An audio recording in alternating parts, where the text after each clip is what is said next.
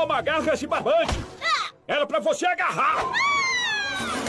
Relaxa, amorzinho, pegamos você. Ai, ah, eu tô bem, valeu. Muito bem, sua festinha mista acabou, Ramonildo. Sobe aí. Ah, não. Este aqui é o meu lar agora. Eu fui domesticado, certo, senhora cara peluda? É, não desista do seu reino por mim, é sério. Percebi que é impossível cumprir meus deveres reais como eu gostaria de fazer sem a ajuda e o apoio da mulher que amo. Bom, se o Julian não quer voltar pro zoológico, então acho que os lêmures vão precisar de um novo rei. Então aqui está, Rei Morte. O recruta não exagerou na tua Deus salve o rei morte! Ah, como é que é? Eh, Rei morte? Ah, Só de pensar eu fico... Não dá! Não dá o quê? Mesmo que isso destrua o nosso amor, não posso deixar o Mork governar o meu reino. Ele é bobinho demais.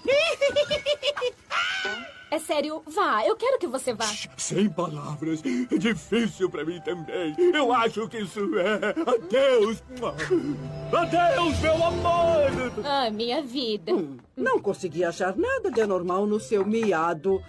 Talvez só esteja com fome. Prontinho, gatinhos. Oh, bebam tudo. Maravilha! Mais pra mim. Ei, Mork, ótima jogada, recruta. Obrigado. E eu fui escolhido por último. Uh, toma, Kowalski. Espera, eu? Desprezou ele também. Eu estava guardando o melhor pro final. Toca aqui, pessoal. Ei, Mork. Soa simplesmente ridículo.